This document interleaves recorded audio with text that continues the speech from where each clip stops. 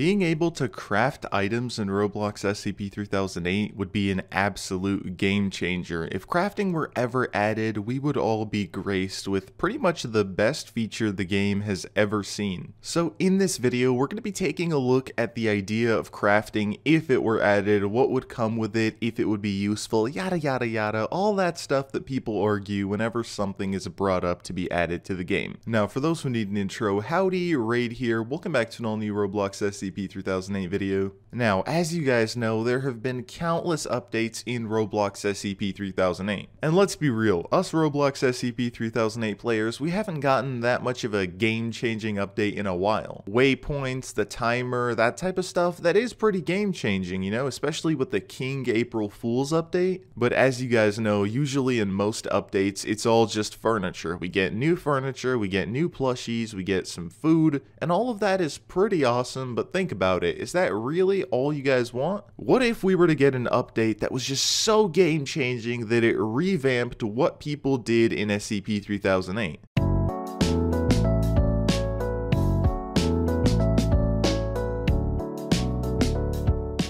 And of course, by that update, we're talking about crafting. Crafting would just be a feature that would totally change everything. But when there are discussions about crafting added to 3008, a lot of people say, wait, like Minecraft crafting? Is that what you're trying to say? And no, that's not what everybody's trying to say. Roblox SCP-3008 crafting can be its own idea. One idea is that a new plot could be added that could be something like a tool shop or like a mini Home Depot plot. Basically a normal Roblox SCP-3008 plot, but it would kind of have like a crafting bench or like a little workshop, maybe like a little helmet for players to find and a ton of wood pallets. And for those who might think, that won't fit in an IKEA, you said Home Depot, but no, think about it, we already have construction parts. If we already have a forklift plot, why not have a plot exactly like that, just a different version with a workshop? In real life IKEAs, workers are always working on new displays. If you guys have ever been to an IKEA, sometimes you'll notice that there are big curtains and the workers are working on furniture. You know, sadly, the furniture doesn't build itself, the workers have to make it look good for the display. But basically, this workshop plot that I'm talking about could basically have one or maybe two workshop benches. These workshop benches would basically serve as crafting tables. Players would have to find the plot, go to it, and basically craft whatever they need. Maybe these benches could be permanently anchored down so people can't pick them up and take them to their base. This would add suspense to the game because the fact that you need to travel to craft stuff would add a lot more suspense to the game. Let's say you need to craft something, you run out of your base and it turns night. You quickly go to the bench, you craft whatever you need, and then you try to run back home and there's employees after you. It would really make the game so much more fun. Personally, I would be so much more engaged because you have so much more to do. It would keep players playing the game longer. Like, this would be just an enormous W for Ugly Burger himself. And for those of you who aren't really big fans of a plot, there could also be just a regular crafting table instead. This would basically be a small little table that you could find randomly in just any plot that you think of. You would be able to pick up this little crafting table, bring it back to your house, and have an actual way to craft stuff stuff inside of your base. More players would be able to have accessibility, you know, the players that don't want to run out at night can craft whatever they need in their base. And now that we have ideas for this crafting table, we have to think of how we could get materials for it. To start things off easily, this update could have like three simple materials. There could be wood, metal, and then maybe like cloth, basically silk from beds. These materials could basically be the three core materials that'll be used for all of the crafting recipes going forward. Eventually, other stuff could get added, but these materials are like super simple items that anybody could get. You could get wood from pallets, cloth from bed, refrigerators would provide you with metal. It would be super easy to get materials. You just walk up to a piece of furniture, let's say a pallet, and then press a specific button. I don't know which button, just some button that's not used for any menu or something. And by pressing the button when the furniture is selected, you could like salvage parts. Let's say I could salvage wood from the pallets. That would be pretty useful. Let's say you need some materials. You can get something from your base. Everything can be salvaged for parts. But from a feature like this, it could make griefing a lot worse.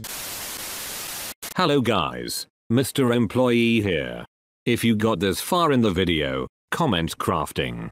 And leave a like and subscribe, or else I will destroy your base griefers could just run up to bases, press salvage, and turn your whole base into just parts. And to make that not really happen a lot, you could add a cooldown to salvaging. Maybe like a 30 second cooldown would be pretty powerful. 15 to 30 seconds of a cooldown would kind of stop people unless they're like a really, really devoted griefer. Because think about it, if you're a griefer, you probably want to spend like a minute tops trying to take out somebody's base but if there's a cooldown of 30 seconds, you could only take two things apart in a whole minute. There could also be a feature where your bases are established as bases, like when you connect furniture together, you can't salvage it. That would totally take the griefing aspect out of this. Now, getting materials would be super simple, and getting them to your base would be even easier. You just put them in your inventory and go on your sweet way. And by now you're all thinking, Rayd, you gave us this idea of crafting, you talked about crafting benches, you talked talked about materials, but what would we even be able to craft? My friends, the possibilities are endless. A lot of people are gonna say weapons, but that is not the most important thing we need right now. There is so much different stuff that would be awesome to see. New types of furniture that you can't find lying around the store would be awesome to build, especially if you have to like craft or find blueprints or like instructions for the furniture.